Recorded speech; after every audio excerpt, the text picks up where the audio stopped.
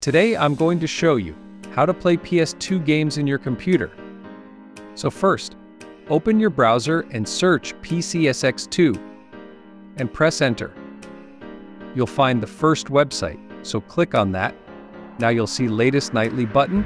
Again, click on that and you'll see download for Windows. So click on it and download the file where you want. We have downloaded the file successfully, so now we need to extract it so that we can use. So right click on it and click on 7-zip.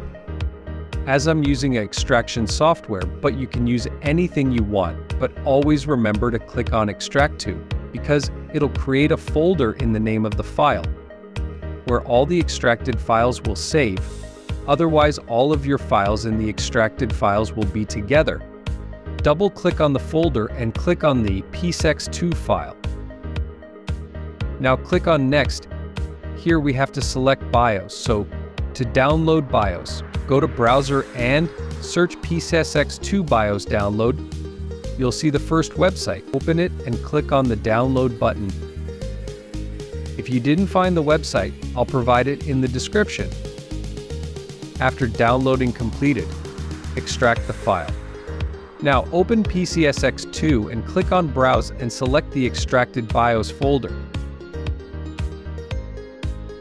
Now you can see it's showing BIOS image missing. You can see there's three BIOS images. Just click on any one of them and click Next. Here, add the folder where your games are and click Yes. Click Next and Finish. Now, our setup is completed it's time to apply some settings for smoother performance. Go to System Settings and enable Start Full Screen, but it's optional. Go to Emulation and click on E-Cycle Rate and select 50%, and in E-Cycle Skipping select Maximum Underclock. After that turn on Enable Cheats. Now in Graphics section, choose Vulkan in Renderer if you have external graphics card, otherwise select Direct 3D 11. If you choose Vulkan, then select your graphics card and adapter option. You can turn on VSync. If you see any lines or glitches in your games, go to rendering option, and in internal resolution, you can change the quality of the games. If you select any other than default, then FPS will drop. Leave texture replacement and fast processing to default. And in OSD, you can turn on show CPU and GPU usage. Finally, our FPS settings are completed, but we need to map our keyboard keys or controller if you have. For that, open your PS2 game. Press Escape key on your keyboard and go to Settings. Here you can see Controller option.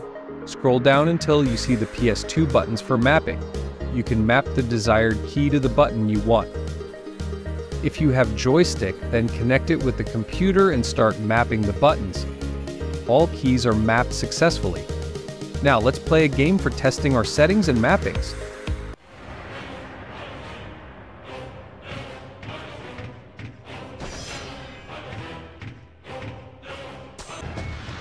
Athena, you will suffer for this!